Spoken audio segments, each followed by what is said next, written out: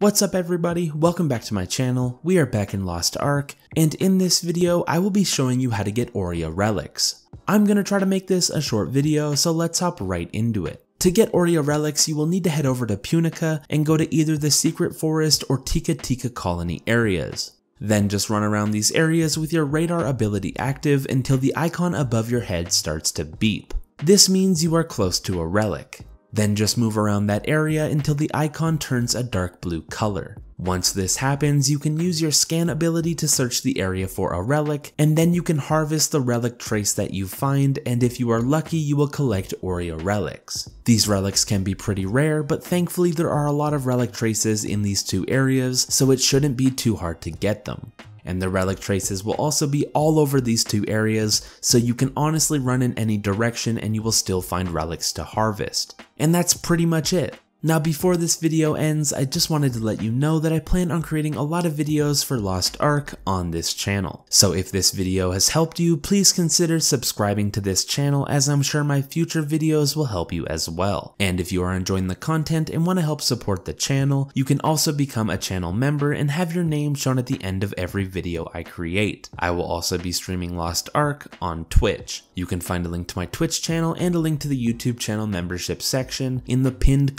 comment below. But anyways, I hope this video has helped you and thank you for watching.